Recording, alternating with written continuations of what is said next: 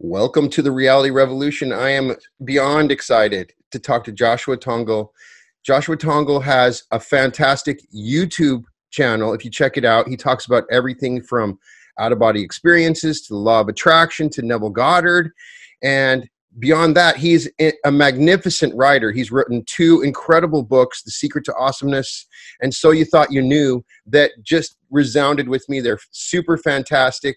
He's my soul brother in every way. he matches all the things that I've talked about on this channel. When I was re- reading his book, it was like uh, uh he covered all the things that we've talked about in even using similar language it's like uh, it's like we've we've met before or something. I, I, I had to talk to joshua. So uh. thank you all the way from the philippines. How's it going man? Yeah. Awesome dude. It's good. Yeah just chilling out here. It's almost midnight um, but i'm excited to be on your show dude. Appreciate it brian. Well thanks for coming on. It's it's seven in the morning here so yeah i know. yeah, thanks for so, doing that for me.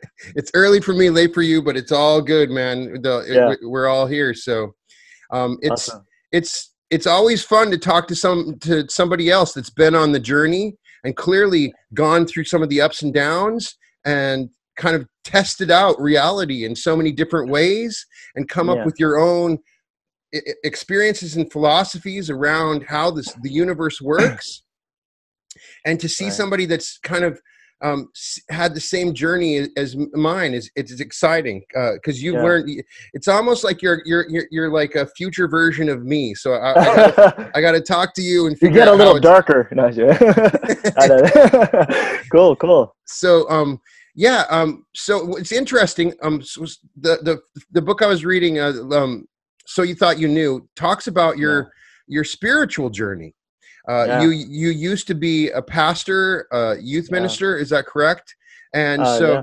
And, and, and, and I and I I'm with that all the way. And so there's a culture that comes about and the way that you're taught about God. What what I found interesting is as I've kind of researched you, you wrote that book and it's kind of like a summary like of what Neville Goddard is saying before you really started talking about Neville Goddard. It was like right. you basically summarized Neville Goddard before you had started reading Neville Goddard. Am I right? right, right. Yeah, yeah, yeah. I didn't know Neville Goddard. Yeah, when I'm, I'm listening yeah. to this going and I looked at the date and then I looked at your other videos and it was like you were basically Neville Goddard before you had actually all the knowledge and information. You're saying all the things that Neville Goddard is.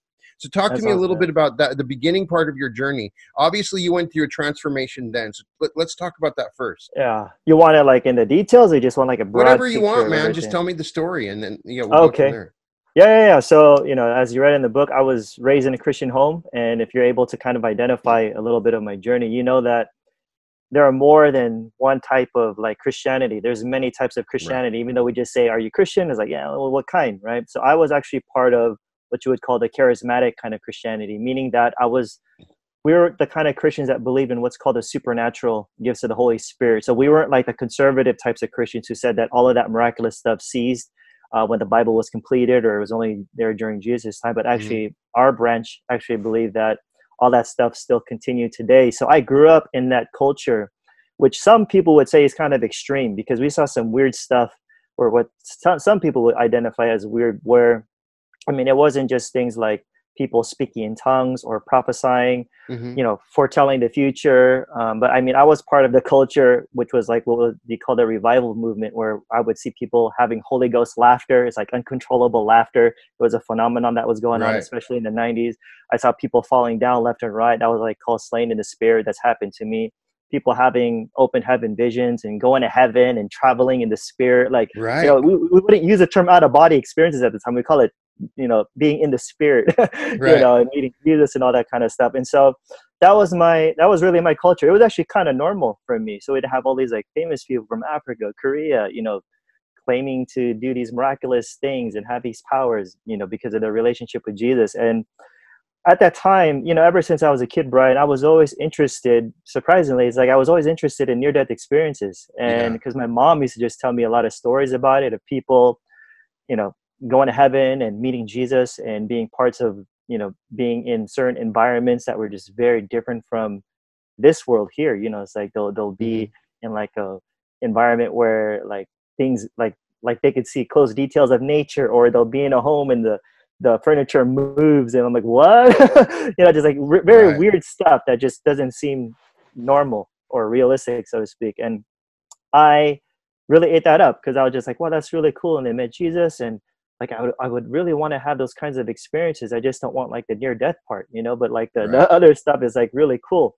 But I, at the same time, when I was a kid, since I was so open to, I guess you could say like spiritual things, I did see some stuff as a kid, you know, I like just try to, I'm just going to condense everything, but I did see things like in my room, I would see like a ghost or whatever floating up in the corner of my room. I had other right. weird paranormal, you could call it paranormal phenomena happening to me that was just for many years I didn't know how to explain, you know, just like things moving in the house and stuff. And, um, but I guess one of the things that was the biggest part for me in my journey, which you read in my, uh, my second book was about my hand, right? So I was born this right. way. I was born with only one hand. And so when you look at it with the perspective that I had being born like this, I was teased a lot, which is pretty mm-hmm. sad. Like it's just whack. You don't wish that on any kid, but I was right. teased a lot. And because of that, unfortunately, it got to me. Right. And I got very insecure and mm-hmm. just like, oh, dude, you know, no one's going to like girls don't like me or whatever, you know, and, um, but within my, my world was this God who supposedly does miracles. Right. So, I mean, if he could part the seas, give deaf, you know, um, give hearing to the deaf or sight to the blind, why can't he give me fingers? Cause I'm like, oh God, Jesus, I'm hurting. Kids are making fun of me. Can you give me two hands? And I would like cry, like pray every night, hoping, hey, when yeah. I wake up, I'm gonna have two hands. I mean, I really did that for many, many years as a as a kid. Of course. And so I would go to all these different crusades, and of course, a lot of people are like, "Josh, who cares? It's not a big deal," you know. And I'm like, "Yeah, I get it, but this is my experience. I was really hurt as a kid, and I wanted to have, you know, like normal hand. You know, I just had a hard time yeah. accepting it, and I would go to all these different types of faith healers at the time, like the big names. you know, just to let you know, I'm, I'm from California too, so right, you know, I'm from LA. And so, um, yeah, I, I went to all these crusades. I would try to get healed, and nothing would happen. And so that was like a really big struggle for me. But the the turning point. So imagine I did that all those years, but the major turning point was when I was 17, and I found out like the biggest faith healer at the time, which I'll, without mentioning this person's name, right. was in Anaheim, California. and uh, so I was like, there you go. And I was yeah. telling my friends, I'm like, you know what? I'm going to go to this crusade and I'm going to come back with two hands. And I told my friends that, like my non-Christian friends, to try to um, like witness to them, you know, as like a right. testimony to believe in my faith and stuff. And so I went to this crusade. Nothing was happening. Um, I was getting really discouraged, and I told my friends like, "Oh, take me down to the stage, dude. Maybe you know when the guy lays hands on me, something's gonna sneak and happen. Like he'll lay hands on me, and he's anointed. Boom, you know." Right tried going down. Place was packed, thousands of people. He said, "Come back tomorrow." I was like, "Ah, oh, crap, dude!" Like I was embarrassed first of all, but uh, at the same time, of course, I was hurt. You know, yeah. I was really disappointed. Went back the next day. Obviously, nothing happened, and so that became a major turning point for me, dude. Because it wasn't that I became bitter towards God the way I understood God at the time, but it was more of a, a realization for me at that time of like, oh, maybe this stuff doesn't really happen today you know because it's like growing up as a charismatic christian i never saw fingers grow or, or missing legs or arms grow out. Like right. i remember going to church and people speaking in tongues and falling down but i'm like what's what's kind of supernatural about that now? Like i was really questioning everything. Like it was very i, I did a lot of introspection you know just like wondering if if if i was lied to or i was deceived because mm-hmm. um, there were just a lot of bold claims but there was not much that i was seeing and so at that same time, when I didn't get healed and I started questioning things, I found out that one of my teachers at school was a Christian apologist. And are you familiar with that term apologetic stuff? No, let's ex- let's talk about it. It's just explain okay. a little bit. Yeah. Yeah. So so my teacher was an apologist. I had no clue what an apologist was when I was yeah. 17, but basically it's somebody who defends something. So there's other religions that have their apologists, but mine was within the context of Christian apologetics, which is how to defend the Christian faith. So that was right, a whole okay. new world to me, yeah. because look at me, who when I was a kid, I believed everything, dude. I mean, when there's a guy coming from another country claiming to do miracles, I believed it. Oh, lay hands on me. I, I did right. that for all my life as a kid. Now all of a sudden, this teacher started telling me to start questioning things, and I'm like, oh, that's true. You know, like uh, well, how do I know this stuff is really true? you know, and, and I'll be mm-hmm. honest, like I, I did assume Christianity was true the whole time Right. It's not like it messed up my faith. It was more of um, I just wanted to have good reasons why I was a Christian, and so I immersed myself in that world of academia and intellectual Christianity when I was 17. Like it totally changed my world, where I became super, super skeptical, and right. so it was kind of like a double-edged sword for me, Brian, because in a way it was good because there was some skepticism there. So it's not like I'm going to these crusades and be like, I believe now, I believe everything this guy says. Now it's like, uh, no, you know, this guy might be fooling us. He might be a charlatan, just trying to take your money, or maybe he's just delusional too. Right. Whoever knows. But it was a double-edged sword for me in the sense that I was skeptical of everything. Like I didn't believe anything for eight years. And when I say that I didn't believe, I really didn't believe. Like you could ask my closest friends, you could ask my family. I had an agenda for eight years to expose the charismatic faith healing movement. Like that was my passion, believe it or not. Right. And so I did that where I started to even preach at churches about that stuff. I would guest speak at churches talking against the miraculous. I mean, how ironic is that? But people were cool with that. But it was more of the conservative churches, right? And so right. I was doing that.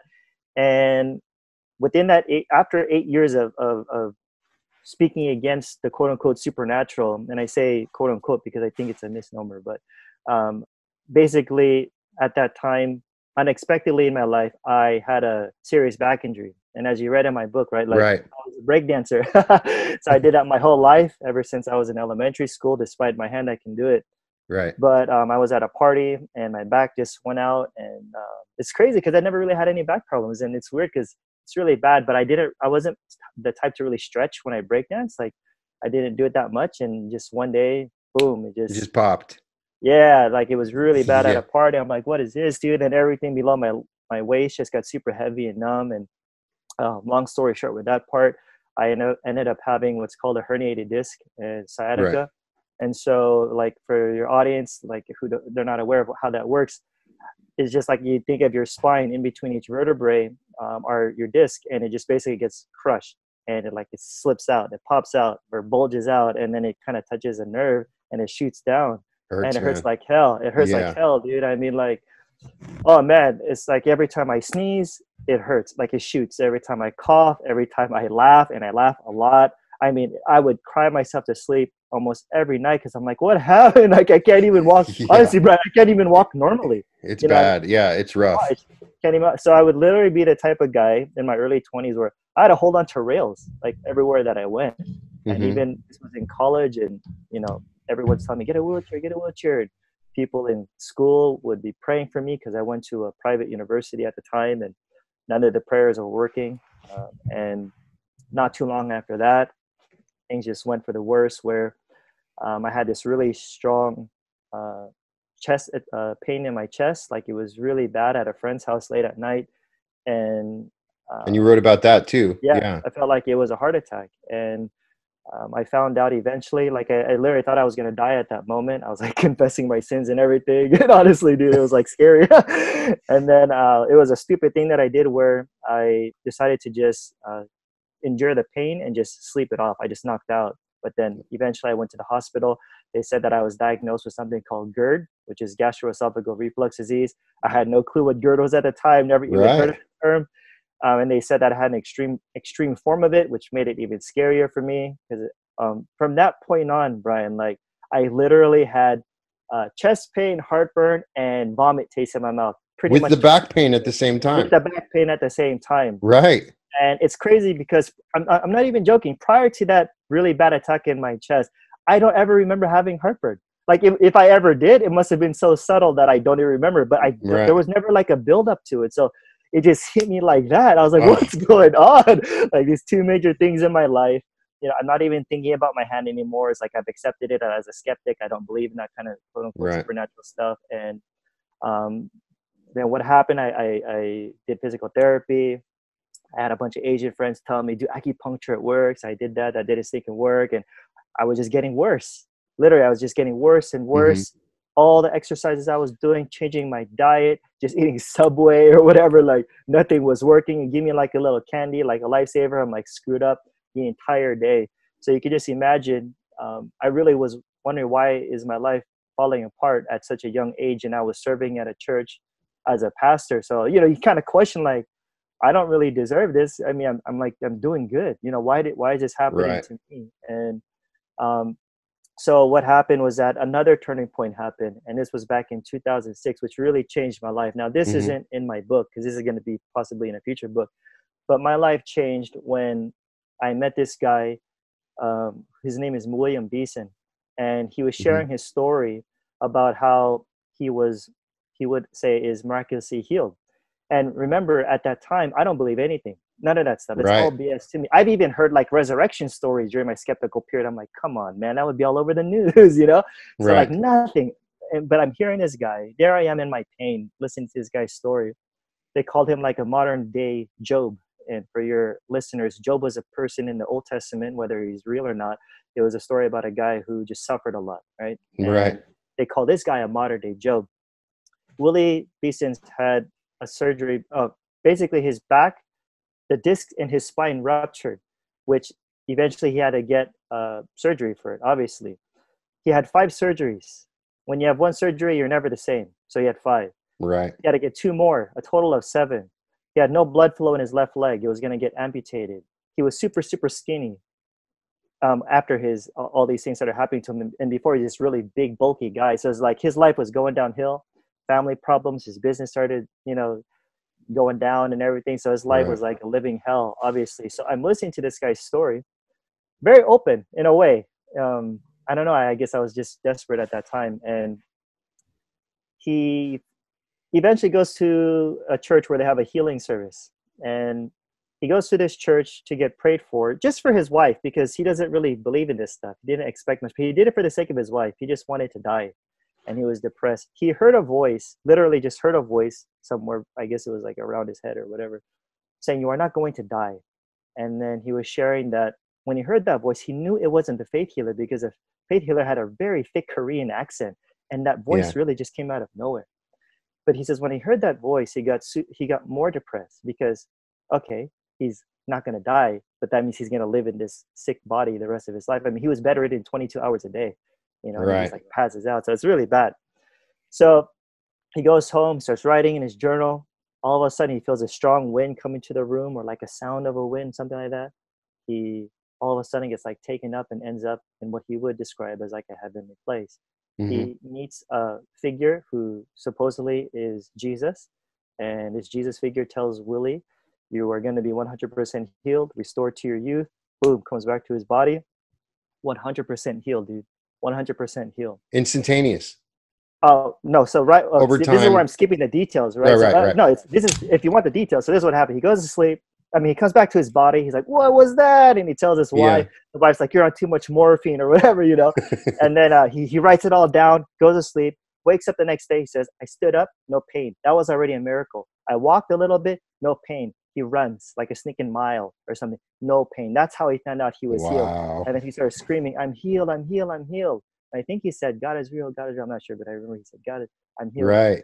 So he shares that story, talking about the power of God, you know. And there I was just listening to him and open. And so I approached him and I was like, hey, Willie, um, I just told him about my back. And I uh, we swapped information. We actually became really good friends. You know, we Mhm. were really dope, very kind guy, very monotone guy, and not showy at all, which is what I like. And he brought in all the doc. He brought in documentation from like UCLA, uh, Germany, so that kind of gave him more credibility to me. Plus, he has an atheist friend who was still an atheist that was a witness of his healing. He's like, I don't know how to Right. explain what happened to my friend Willie. So like that, that just gave a lot of credibility uh, for to me for him. And so he says, "All right, Josh, give me your email. Here's." Um, then he sends me a, a link to a website, and it's that church, that church where he got prayed for. You know, and I I saw it. I was like, you can imagine me rolling my eyes. I'm like, ah, this is that dude. It's that charismatic stuff, you know. Right. And then, uh, and so so I saw the testimonies of there of their healing service. Um, there were people who were getting healed of like headaches. I'm like, ah, I'm like, whatever, you know. And then back pain. I'm like, ah, whatever. Still a little skeptical, psychosomatic and then cancer was being healed. I was like, wow, that, that's true. That is a big deal, you know. And then hmm there was one testimony of an arm that was supposedly like lengthened or grew. I'm like, what? And I've never heard of something like that before. Like a testimony. Right. That's kind of weird. Like, what does that mean? It was it a whole arm or like was grown out or like a little arm or lengthened? What does that mean? So at that moment, Brian, it's hard to explain, but I was ex- there was this huge rush rush of emotion that I had where I was extremely, extremely, extremely, extremely confused at that very moment. And I, I shut the computer and I went to the prayer chapel at my school and I just started bawling. I just started crying. Of course, I can I, I understand completely. Yeah, yeah, just like for the first time after eight years of being a skeptic and preaching against this stuff, like my desire to be healed came back. Mm-hmm. And then I started talking to people about it and even the professors at my school and they were like kind of scared for me because they know about my story. I was very outspoken.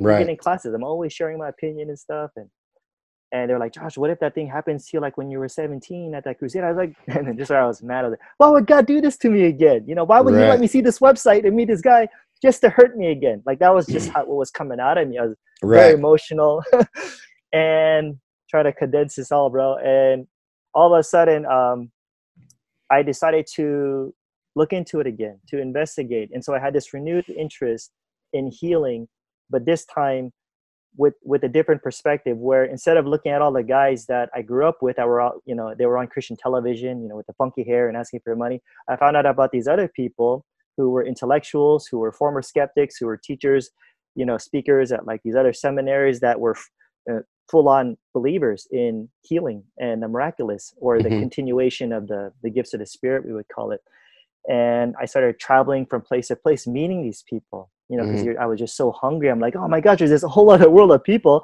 that they seem like normal people you know they're yeah. they don't say like thus say the lord they don't talk like that you know they just look like normal chill people and i started doing healing myself and for the first time, I started to see results like immediately. Like we started doing healing and someone had a cast on, pain went away right away and took off the cast. And, you know, just random things that started off small, just with like pains and, you know, just going everywhere. I was like super passionate about it. You know, I was like, right. what's going on?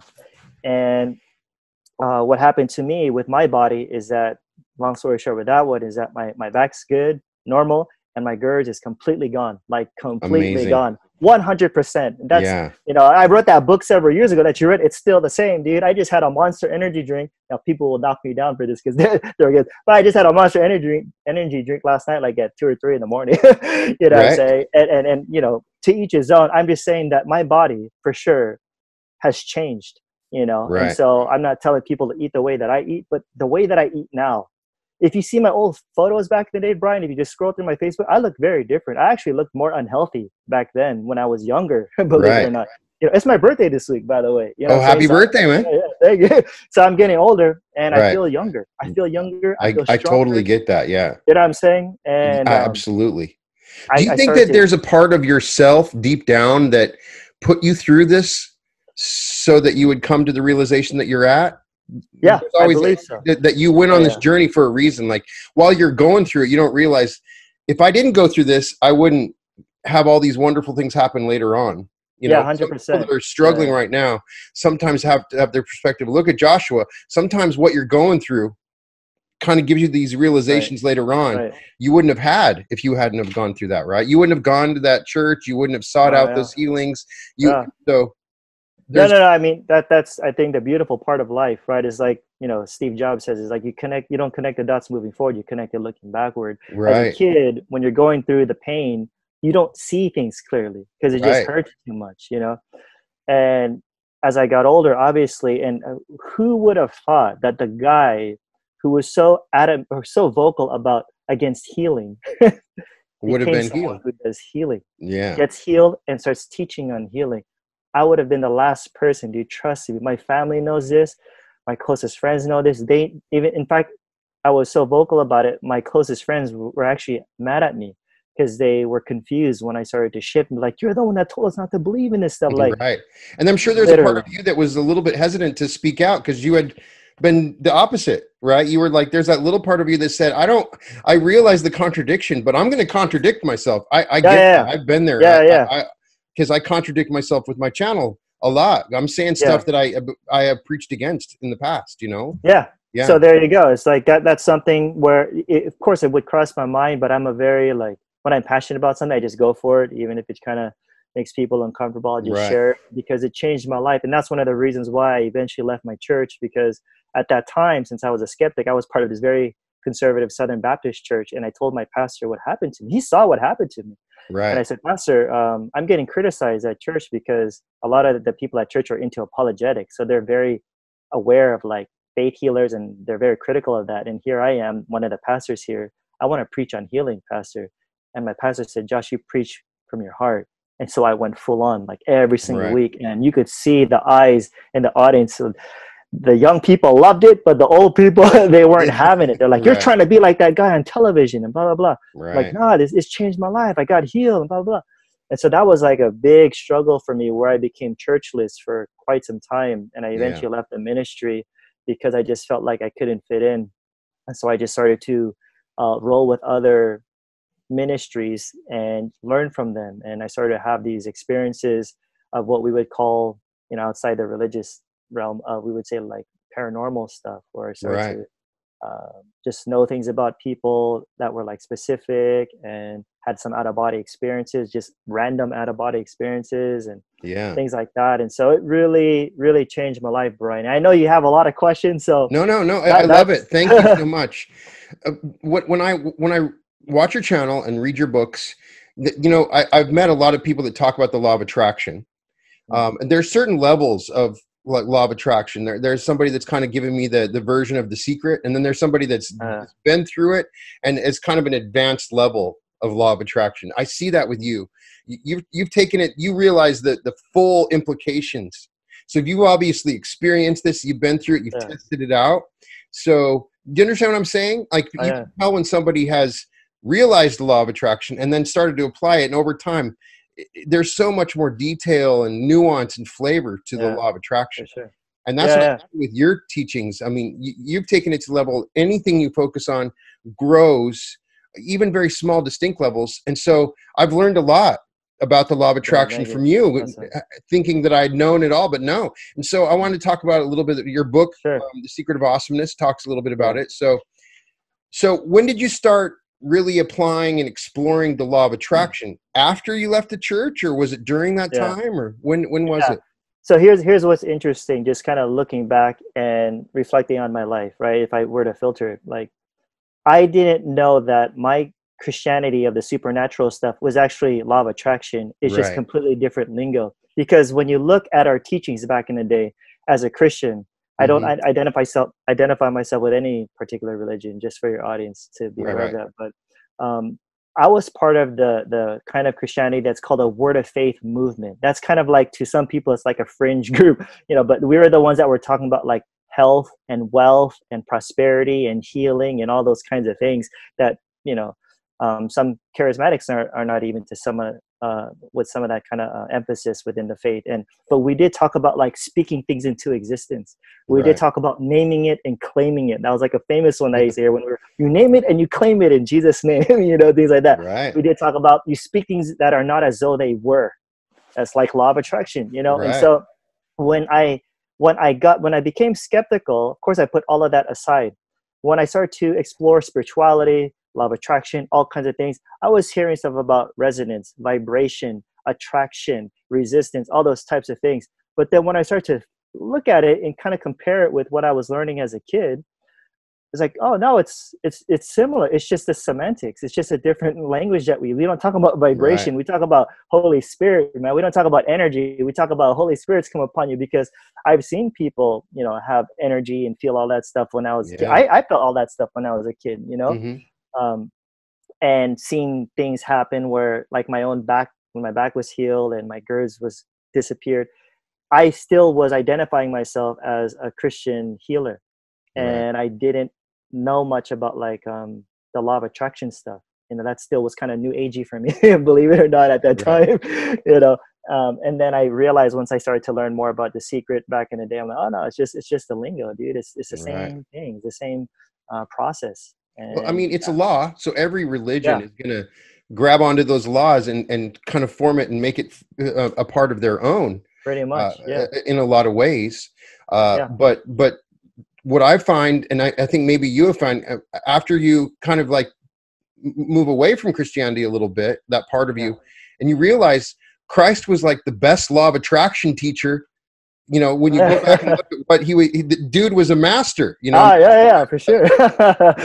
you Yeah, know, yeah, people have tried to attach all other stuff with what he said, but really, he was just like, "Hey, you can have anything you want. All you got to do is this." Oh, yeah, everybody tried to, you know, you know, create something else out of it. But if you want to know one of the best law of attraction teachers, it was Christ, right? Jesus, yeah. right?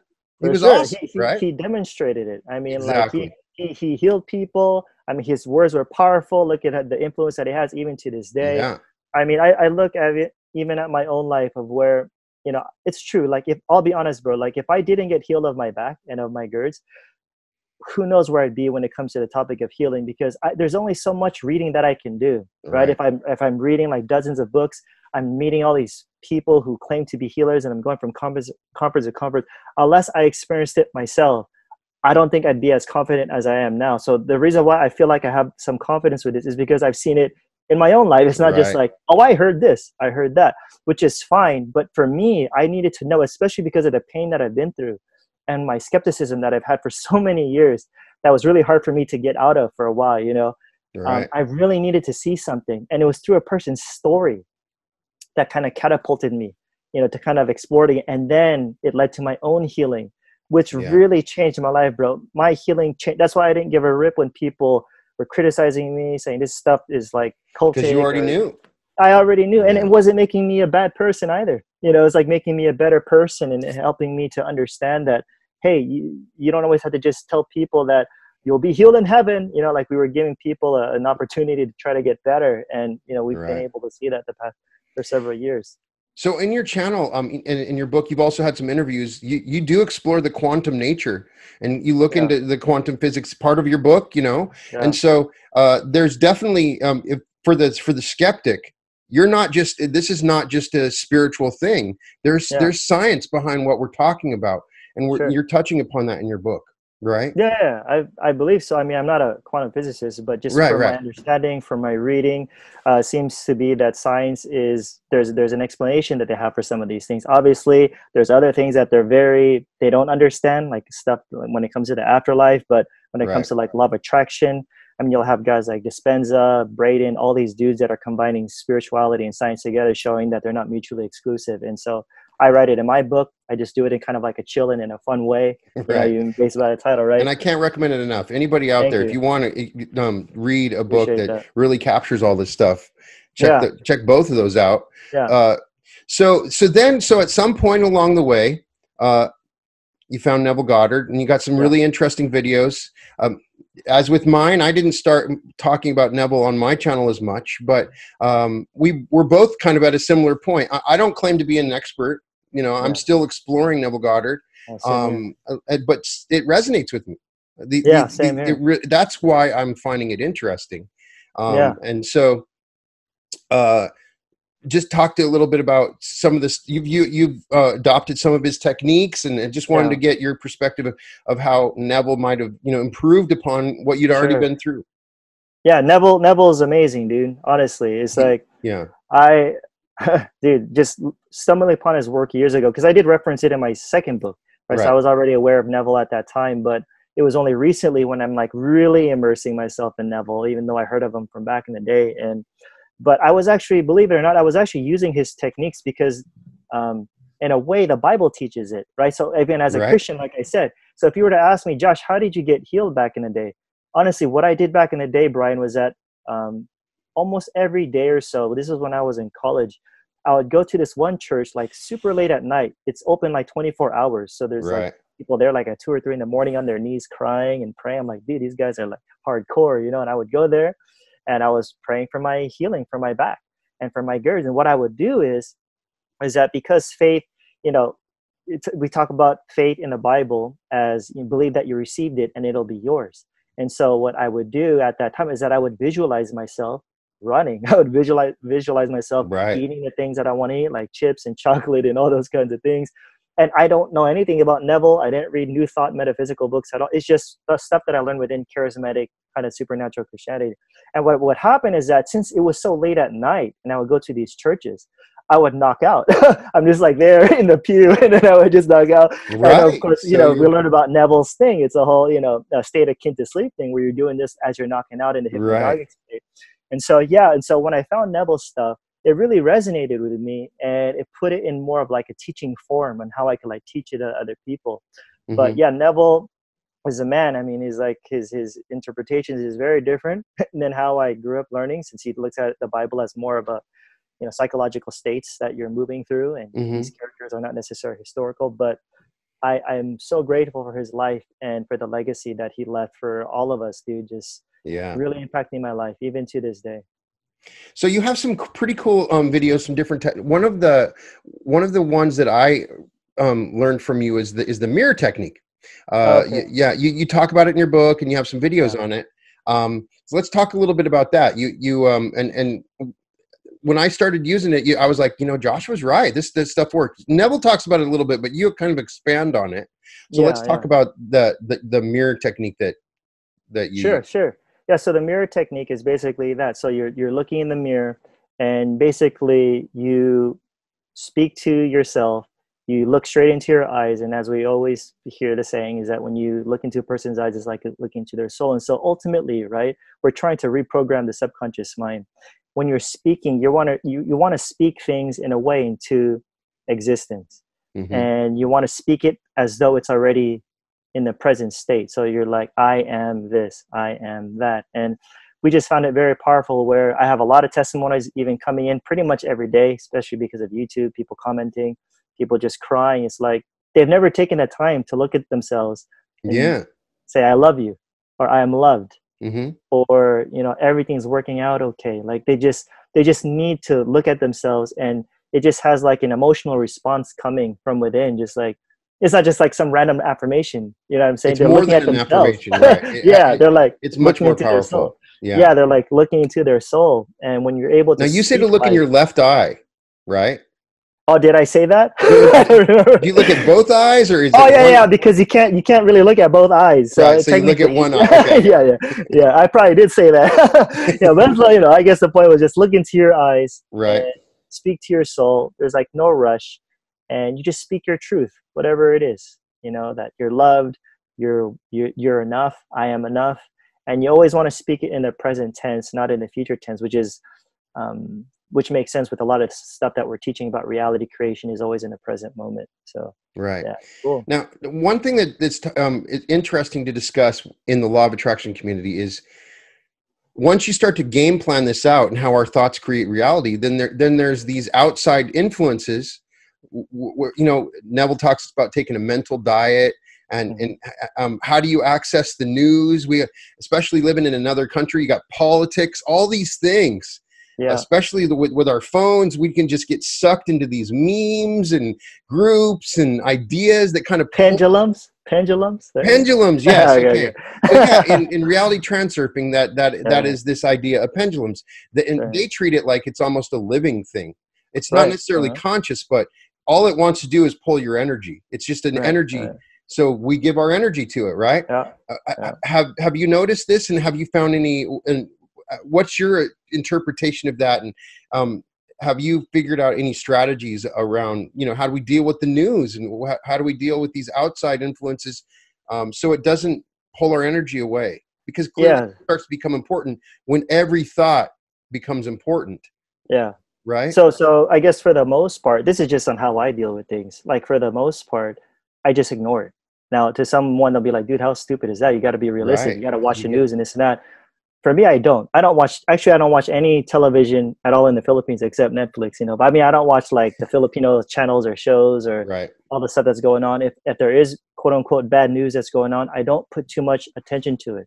I mean even with the incident that just happened in the philippines a while ago it's like the more you you try to fight something or the more awareness you put on something i feel like the more it's going to start to start to affect you in whatever way, whether it's um, emotional or mental. And right. so I tend to ignore those types of things because I was in the States not too long ago. And I was just like chilling with my dad because, you know, my dad likes to watch a lot of TV. And when I was watching TV with my dad, and I'm telling you, I don't watch TV really at all. I don't watch news. I was like, dude, this is all negative stuff. It's all bad news. yeah. Like, I'm like, wow. Just, bad news. How right. do you feel good about this stuff? And so for me, for the most, I just focus on my world, you know, and, and hopefully that starts to bring a shift to, the people that are around me you know but of course you know i'll pop on i'll go online and find out find some stuff that's going on in the world today but i don't i try not to put too much attention to it or too much awareness to it where at least to the I, I, try to be detached from it you know what i'm saying or right. I, I, you know so if i if i watch a, a horror movie you know I, I, like horror movies we watched one the other day um i just tell my wife yeah just when you watch something just don't be so attached to it. Just be kind of dispassionate towards it. And just like yeah, just be chill. Just just watch it. Just observe it. You know what i'm saying? And so for me i just look at life in a very in a way kind of neutral way where i just try not to absorb too much even whether if it's really good or quote unquote really bad. I right. just try to observe it you know just like that whole thing of importance and all those kinds of things and just trying to stay chill at least for the most part yeah so once you kind of go down the rabbit hole of neville goddard and and, and yeah. love attraction uh one people one thing people have a hard time with is recreating a feeling they've never had. Yeah. So i always like to ask an expert what's how do i rec- if i want to know the feeling of the billionaire yeah. you know how do i find that feeling? What techniques or, or shortcuts do you have to uh, create feelings that yeah. we have not experienced yet. Yeah yeah. Do you understand so, what i'm saying? Yeah yeah for sure. So obviously it's like how, how could a quote unquote poor person feel like a billionaire? Well within that state you can't right? Because it feels right. so far away. And this is where i think neville is gold. This is where he does talk about the human imagination as something so powerful since god is your human imagination. I'm just speaking from my own experience. When I imagine things, I it just starts to naturally happen to me. Honestly, like the feelings mm-hmm. happen where I start to catch myself smiling, right? So I, I was even like imagining this interview and your reaction of the interview and how it's going to make me feel after this interview and right. things like that. And I start to notice that unless I imagine, um, I wouldn't have been able to create those types of feelings if I just try to like, you know, force something to happen. Obviously, you, you can't. Like, how how the hell do you become like a feeling like a billionaire. But what does a billionaire look like? What does a billionaire feel like? Well, if you don't feel like it, this is where you imagine. This is where you go within and you and you play around with with what you can create in your mind. And that's just for me. There's no like particular this is the right way to do it. I do mean, there's a lot stuff of stuff in your body. Like, do you I have do. in your yeah. stomach, like your f- cheeks? Do you feel like uh, kinesthetic sensations? Are you able to recreate yeah. specific kinds? Yeah, sometimes. So, so my body, I'm very like for myself, I'm very sensitive to like energy. So I feel stuff all the time. right. Know? So even like when, you know, I, I started reading stuff about the plait and all that stuff back in the day, and I'm just, oh yeah, I feel that stuff on my back, and um, mm-hmm. so even before I start reading about that stuff, so like for me, I do not all the time, um, but I, I do tend to feel the emotion where I, I always catch myself smiling. Like that's how it's like a good sign for me when I'm just oh, okay. like so envisioning things. You you heard of the plait? So yeah, okay. I've I mean, I mean I'm, not I'm not an expert in this. Right, stuff, right. Neither um, am I. I, I but I want to ask every one of my the people I talk to because I think yeah. I might compile these together. Um, yeah. it's it's just an interesting thing. I, I want what what is your impression? Do you think that the plait exists? Do you use the plait? Do you activate it? Yeah, you know, honestly, not, people that don't know that are watching this for the first time, there's a theory that there's an energy braid that's connected to the back somewhere in the back of our head that maybe extends down to our back that has some fundamental connection with states that we move into and and may may uh, have an influence on how we maneuver into future realities is that that's the yeah. best way i can ex- yeah. describe yeah. it yeah and so for so for myself do i use it i haven't yet it's just something that i've read about it i'm reading more on it um, I heard someone the other day mention that it's the same thing as a silver cord. That was kind of new for me. I'm very aware of the silver cord because of astral. Because of astral, right? So when you're yeah. when you astral, well, we'll get to astral projection in a second. Yeah. But sure. do you you are aware there's some kind of cord when you? Yeah, I'm, I'm, aware of that, but I've right. never seen my own cord though. That's but you feel it. Yeah. I feel stuff in my back, I, right, but I don't okay. know what that is though. Well, so, it, going to quantum physics, the stuff in our back is not observed, so it has kind of a wave like state it's like there's no way we can avoid it's always going to be it, it, there's more infinite possibility i don't know i'm, I'm getting too far yeah. you understand yeah i mean there's a, there's a lot of stuff we, we observe something with our eyes yeah. it becomes yeah. manifest but behind us even if it's right behind us there's that yeah i mean like uh, many times i feel buzzing in the back of my head um, like something that's very common for me especially since i've been astral traveling for several years I, I, I hear like these frequencies, like it, it, gets very loud. Like I'll just be chilling and I'm watching a movie with my wife. I'm like, Remy, you hear that? all of a sudden I hear so, it's like it's like a musical tune. So let's talk like, about astral projection. Yeah, yeah. Um, when it started to become uh, easier for me was was like you said when I it wasn't when I was listening to some binaural beat. It was when I could hear that high pitched tone almost. Yeah. And and I Mhm. st- would, would okay, it's not some um, tinnitus that I have in my ear, right? It's okay. yeah. I'm going to focus on that noise, and then there's a pop. Yeah, That was when uh-huh. I started. When it became more easier for me while awake in a Cool. lucid moment. And so, uh, you know, I've had some weird experiences and seen some unusual things, and maybe it's my imagination, maybe it's real. I wanted to know your impressions and how you talk about it in your book. So uh, it's always nice to fe- meet a fellow astral traveler. cool. I think yeah. it's totally fascinating. I think all of us, nobody can claim to be like an expert. no, no, no, There's no, mystery to it, right? Yeah, there's a lot that I don't understand, dude. Like, Right. what the hell was But that? clearly something is I've, I've even read like very smart you know scientists and businessmen that have written books about it um, it's it, it- we're not crazy yeah, I, I, or we're all crazy. Who knows? Right? Or But we're yeah, all crazy, think- right? Yeah, we're not. We're not crazy, though. yeah, but um, you know, consciousness is not. It's not local, right? So you're able Right. to go far beyond our our localized physical body. And so when I first did it, it was actually back in 2006, where it was very random, right? So at Just that happened. time, I was yeah, I was just chilling in the library, and I saw. Actually, this wasn't an OBE just yet, but it was a prelude. I saw this really extremely bright light. I was fully conscious, fully awake, and I just saw this light shining on me. And I heard the, and I started uh, Right. feeling this huge weight on my body, like I was getting electrocuted, which was extremely uncomfortable, but yet not painful. Mhm. And I heard the ringing in my ear and all that, those kinds of things. And then it left, and then it came back like two more times. After that happened, I was like, "What? What was that? I, I don't know what that was." Because I don't. When I hear about near-death experiences, I hear about people going to heaven. You know, I was like, "What? What was Right. that thing that just happened?" So the vibrational stuff was completely like foreign to me. Not too long after that, it happened again in the library, where I was lying down on a beanbag in one aisle of the library. All of a sudden, that vibrational stuff started happening to me, and boom, I popped out, and I was in another aisle of the library. So that was my first out of body experience that I could recall of that that I'm aware of, and it was very uh, dim. But I saw it. I saw the library. I saw the aisle. I was like, "What am I doing here? I'm in another aisle." You know. Then boom, I went back to my body. right Years later is when I started to look back and and learn more about out of body travel because, like I said, I was only aware of near death experiences. I wasn't into astral travel. That sounds like too new agey for me back in the day, Right. right?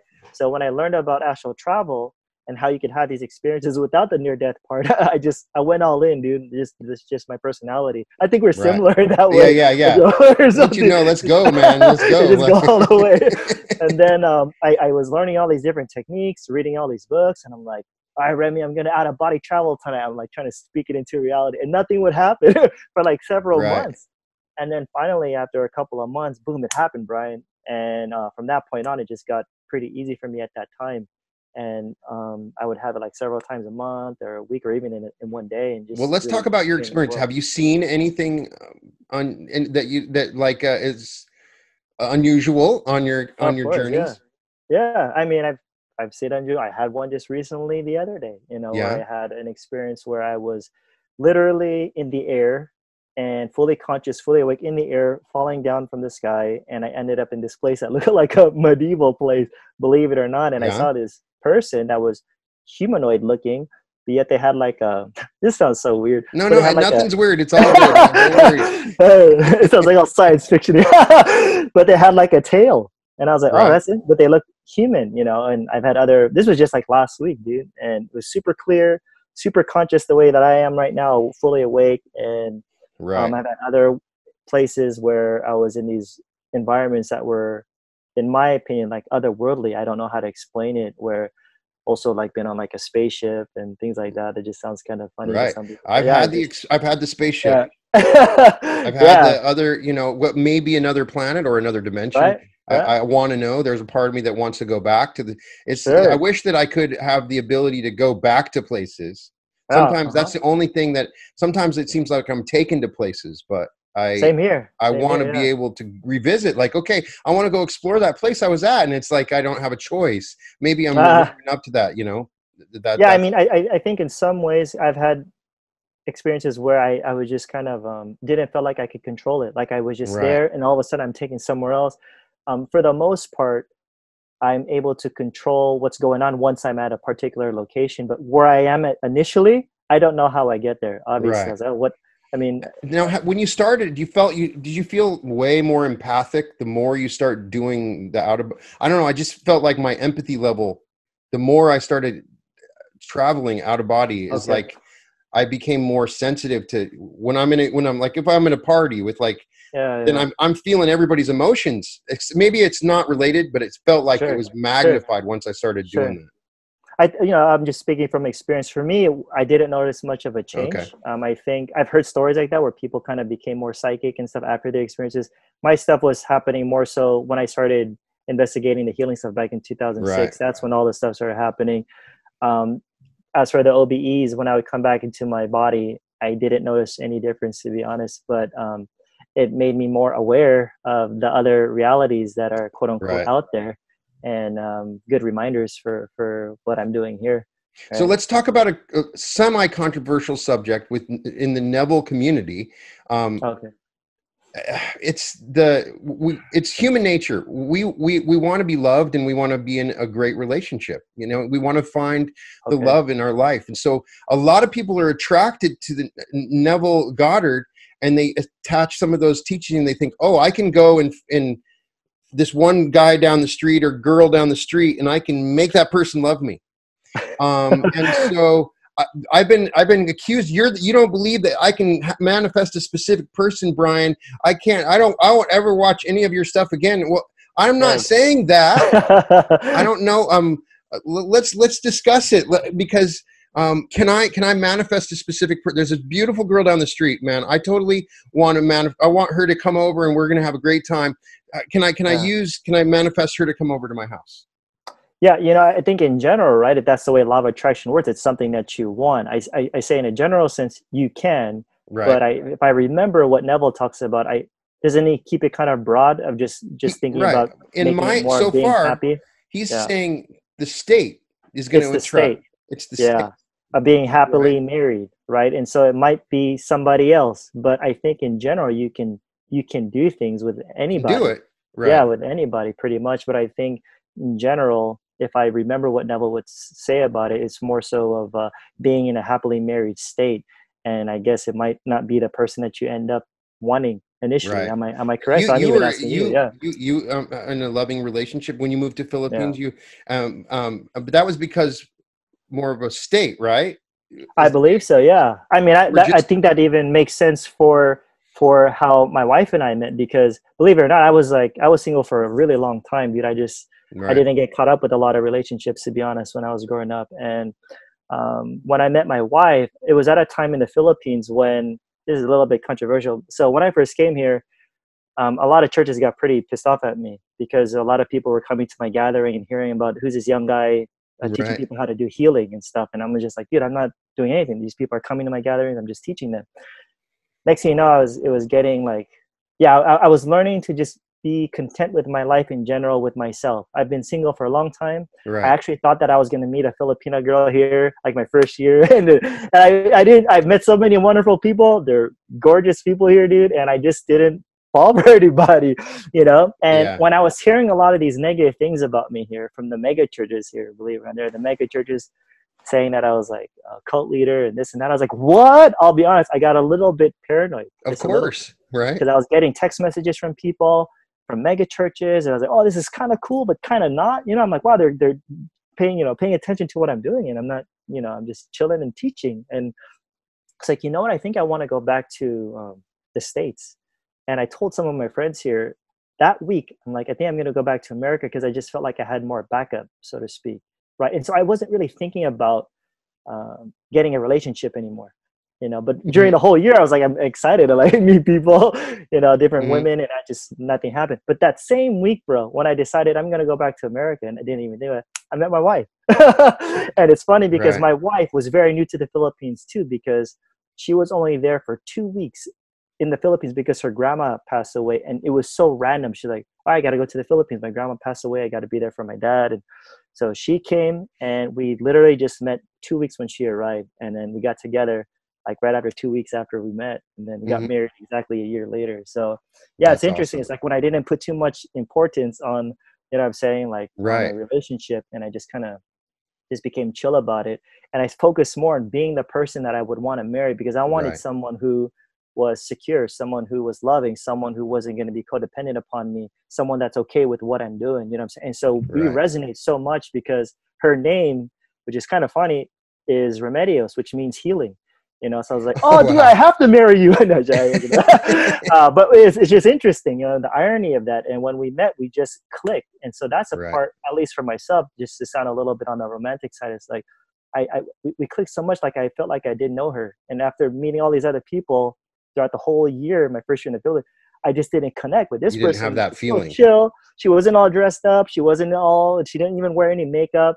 Just a white shirt and jeans. And then I, I just fell for her right away. And we just, Yeah. I just connected at a heart level. And you know, we're still married to this day, and we'll be celebrating our anniversary in a couple. That months. amazing. So what Yeah. what I'm what I'm proposing is that yeah, you can manifest a specific person, but if you focus hard on that person, then you Yeah. create importance, you put them on a pedestal.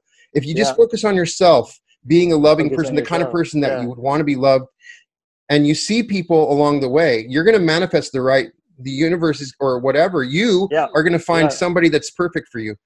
I believe so, and I and I think um, this is where you know this this whole debate with like law of attraction and transurfing and all these things. I've I've been hearing some of the dialogue about it, and I'm just like, you know, it's just it's just really semantics for me. It's semantics. Um, yeah, so it's like you, we could say importance. You know, for us, when we talk about in law of attraction community, it's about when you're at a vibration of of desperately wanting something, you're gonna keep attracting that desperately Exactly. wanting something. You know, so like when it comes to attracting things, that's what people have to realize. You don't necessarily always attract what you want, but you do attract what you are. It's what you're vibrating, right? And so if you exactly. are, are exemplifying a type of being, a person, a loving type of state of being, you're going to start to attract similar people, whether it's romantic or or not. Right. You know what I'm saying? And so I think the focus should be, yeah, you could try to attract so and so. Don't place too much importance on it, but ultimately you want to focus on yourself.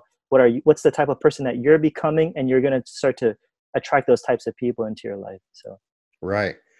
Which is w- why Abraham really does resonate when I listen to Abraham and I, all of them. I don't find contradictions. I find here, commonalities in all of it. I Same think here, that, that that's what's so Semantic, yeah. exciting about it. So, um, no, I'm good. I, I, that's cool, man. right. When um, and so that's what I see in yours. Your your teachings are this cool, chill, way ba- um, laid back way of, of explaining a lot of this stuff um, in in a in a in a comfortable manner. And that's what I'm saying. Everybody, go and check out Joshua's channel because Thanks, you have man. some unique techniques. You br- you bring your own understanding of Neville Goddard. You explain the Thank law of attraction. You actually have a course. Uh, Yeah. Let me see if I have the exact link. It's Joshua Tongol at Think Thinkific. Oh, you could just type in uh, joshuatongol.com slash course because there's like a little, like a shorter link that I've created. Um, and you have a discount that you're offering. yeah, so there's a discount of $200 off. You just if put you that just t- put save 200 uh, as the coupon code. Yep. Um, so you know, I recommend everybody if you want to go deep. Joshua's the place to go to go deep on this stuff. I recommend reading the book Secret of Awesomeness, uh, and uh, so you think you know. Those are some great, and you really bring your own story to it. It's fantastic. Um, Appreciate that. I know for sure that right now I'm gonna. There's something that we're forgetting. You. One of the cool things about your um, book is uh, you talk about how you money comes into your life. You guys just kind of like you expect, like you're talking about your when you you're getting married, and you Oh, need yeah. some money. That Yeah, story yeah. it was pretty Yeah. crazy. Like you're uh, you need some money to get married, but you guys were like, I know it's gonna come. Let's, tell- yeah, let's talk a little bit about yeah. that story. Yeah. yeah, yeah. So at the time, right? So we were we were still missionaries at the time, and if, you know, for people who are not familiar with the missionary lifestyle, in general, missionaries live off of like donations. You know, so you Right, put out like right. a newsletter, and whatever people give, that's what you that's what you have. And so, I had like a donation button on my website back in the day, and you know, once in a while we get some money here and there, but we were living off of that. And I wanted to get married, and I remember in fact, that's where the volcano erupted, bro. it's that it's that location in uh, Oh, wow. Yeah, so that's actually where we got married, believe it or not. Amazing. And So um, glad that yeah, thankfully, yeah, thankfully it's not during the eruption, right. you know. And um, I remember we saw the venue, and it was beautiful because a good friend of ours at the time got married there too. I was like, if if they can do it, and this is what we want, why can't we have it? You know, Right. why do we always have to feel like we gotta like lowball ourselves and just feel like we can't afford it? And so I was putting a lot of this stuff into practice. I was like, let's do it. It's like, oh yeah, but okay. we have enough money for the down payment, but we don't have the rest of the cash. But like, but that's okay. This is where we just kind of like trust, right? We just kind of have quote unquote faith. So we, we had the down payment. We didn't have any of the, the rest of the money to come in yet. And we just acted as if we were going to get married on this particular day. And even as a, the day was approaching, I, you know, we were even sending out all the invitations already to our friends, even when we didn't have the cash for the rest of the money for the venue. Wow. And then um, I think just like a, the week of our wedding, if I remember, it was like a Monday or something. I think we were getting married on a Saturday, something like that. And I remember we were going down the elevator and I was telling my wife, like, oh, you know how much money we have in the, the bank account, right? And it was it was not a lot, bro. right. And and we just kind of like looked at each other going while we're going down the, the escalator and we just my wife's like, We'll be okay. And we smile. And it's cool, dude, because like we felt it.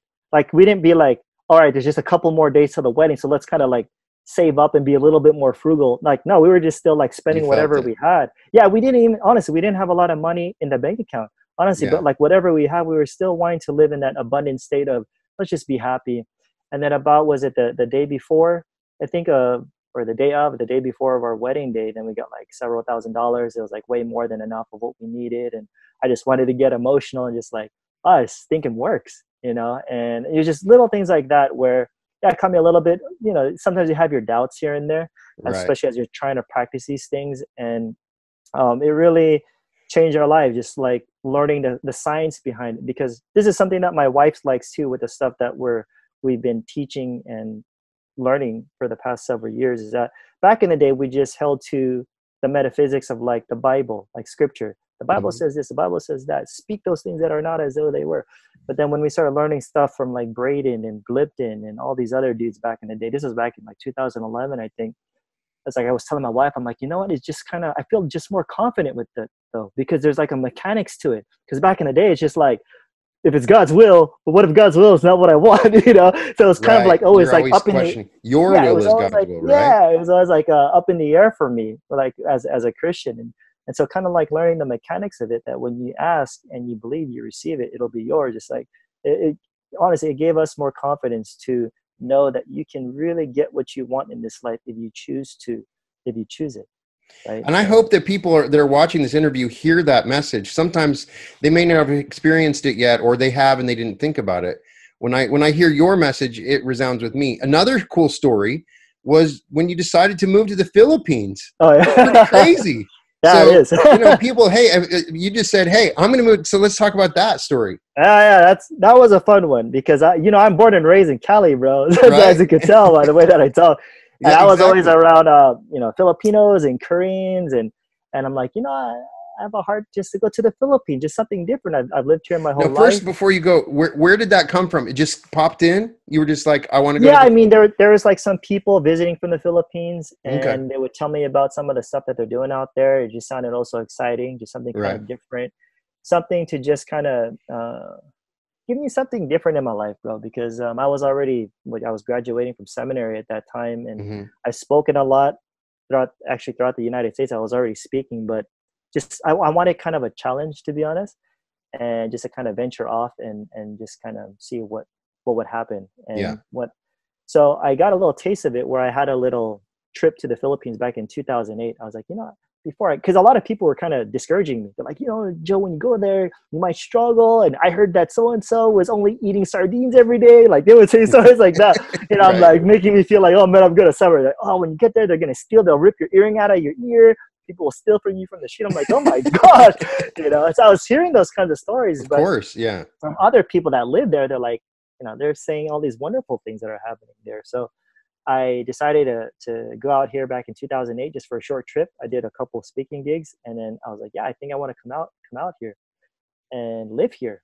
And so I went back to the states, and um, I remember just chilling in the library, and then someone just started talking to me, and it just honestly just kind of came out of my mouth. I'm like, oh, I'm going to the Philippines. I was just like that. And I said it and I called myself like, oh, I just told someone that I'm going to the Philippines. And I got really happy about it, you know? And then I started talking to a lot of people around campus. That's just something that I did. I like just chatting with people around the campus at school. And uh, the more that I started talking about the Philippines, the, the happier and more excited that I got. And mm-hmm. um, I didn't have a lot of money at the time. You know, I, I was churchless. So I was really living off of like my speaking gigs and everything. And and I, I did have a car, but you know, it's like I kind of wanted a challenge though. It's interesting because at that time, I think the blue book value was still around 10 G's, which isn't bad if you convert it to Filipino peso money. It's like, oh, that's right. a good start for me as a single guy. But it was weird at that time. I was like, you know what?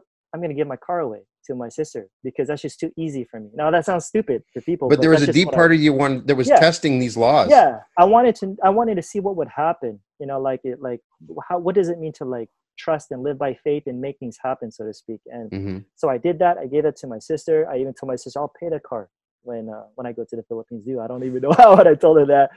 And uh, I didn't have a place to live. And then uh, this millionaire guy heard me speak one day at this one mega church and he invited me to his office. And i had like a little hunch like oh maybe he's going to give me a little donation because he heard about me going to the Philippines. right. And then the first thing he says to me he just has me sit down in front of him and he's like so what are you going to do in the philippines? And i started telling him i'm going to do this i'm to do that i'm to try to speak and help people. Where are you going to stay and live? I said i don't know. He says don't worry about it. I was like what?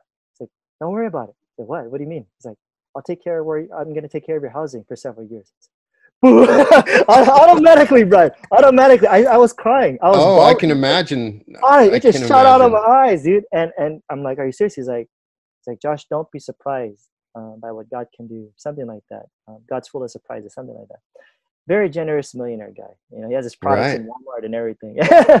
and then, um, so like one thing led to another. We're just kind of telling me, "Yeah, I, I really want to go because it could work out." And eventually, I found a home here that was in one of the nice villages here in the Philippines, and mm-hmm. um, like everything was just being taken care of, and um, just met a lot of awesome people, saw a lot of healings here. Um, just I was just living out my dream, and so that's what I did. I, I just eventually stayed here for several years, met my wife, and we moved back to the states for three years. We got our citizenship. What I do, we like it back in the Philippines. Let's go back. And we came back. So we've been back for several years again. I love it. You know? So you know, a lot of people out there, they they're just one one step away from living out their dream. Just just yeah. one sentence away. One yeah. you know, one leap of faith. And if you're doubting it, look at Joshua's story. And Joshua yeah. just, you know, that is an example um, you took the that leap of faith. You stepped yeah. out and walked on the water, like Neville talks choice. about, you know, yeah. and it, and so sometimes just people need to hear that yeah. it works. And so I just think that you're such a great example for everybody, you. you. know, that needs that hope. And keep on teaching. I'll Thank keep on watching every one of oh, your shows, and every one of your um, videos are awesome. And. Um, that. Your your stuff too, dude. I, thank I, you, man. Pump, you're pumping out podcasts like every minute, bro. I was like, no, this hey, is man, it's when you do it when it's fun. It, when it's fun, that's, it's not it's chore. It's fun. Yeah, You know, I, I, probably do need to hold back. I've been oh no, told, no, no, hey. it's good. I was actually telling my wife, I was like, yeah, I'm gonna be on this guy's show. I was telling this at dinner today, and she's like, oh, who is it? I said, oh, it's that one guy because I played your, I played a meditation of yours before. Uh-huh. And then she's like, oh, I like that. And then I said, yeah, it's that guy. She's like, oh, cool. I said, this guy I said, Remy, this guy is just like me. Like we're, we're like really into the same it's things. True. We talk about the same thing. You know, believe it or not, like you don't see me putting out transurfing videos, but I've been into transurfing for a while. Right. I just don't talk about it yet. So that's something that's meant for the future because I'm still doing the Neville Goddard series. But like the topics that you have on your channel, bro, it's like it's like honestly the best. Like I see your well, thanks, man. Your, that means a I lot. I hear your passion. I sense your humility of just being a learner, being a student, and just really wanting to help people and you know that's why when you're pumping all this stuff out it's more so i'm just like laughing because it's because you love doing it i could see it and you i think that's it. the best it's the that best. was what i felt when i read your book it was like i'm, I'm listening to myself right now yeah uh, you cool. know what i mean i like like the, when you're talking about this everything that you're saying yeah. it's like i've said those exact words and gone yeah. through that it, so uh so it was awesome to meet you. It, next time you're in, in Cali, man, let's grab a bite to oh, eat. Oh, for sure. All yeah, right, let's do it for sure. For sure, um, I'll be there this year. So. All right, can't wait. So, um, and so once again, Joshua Tongol, please check check his stuff out. And Thanks, Brian. Thank you so much. For sure, bro. Appreciate it. It was an honor. Thank you.